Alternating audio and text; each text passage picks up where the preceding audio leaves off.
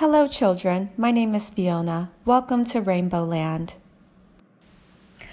I would love to share one of my favorite poems with you today, written by Shel Silverstein in the book Where the Sidewalk Ends. It's called The Acrobats. I'll swing by my ankles, she'll cling to your knees as you hang by your nose from a high up trapeze. But just one thing, please, as we float through the breeze, don't sneeze. Thanks so much for listening. I hope you have a wonderful day.